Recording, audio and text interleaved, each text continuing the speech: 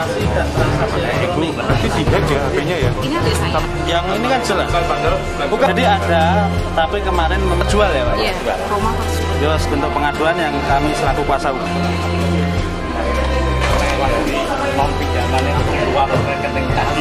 Mas ya, ini dengan tenornya sendiri.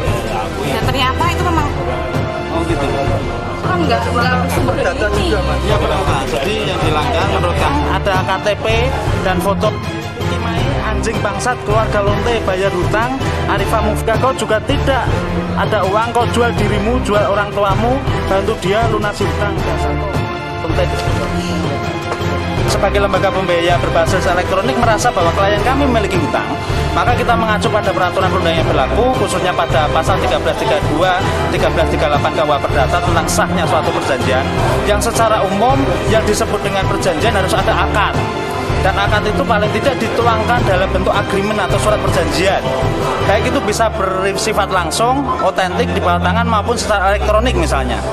Tetapi melihat caranya ini kan kemudian tidak memenuhi syarat itu. Sepanjang yang diketahui Bu Arifah tidak pernah kemudian menandatangani agreement atau surat perjanjian apa pun. Sehingga kalau kemudian disebut dengan pinjam meminjam atau perjanjian tentu saja ini tidak memenuhi syarat. Jangan lupa subscribe ya.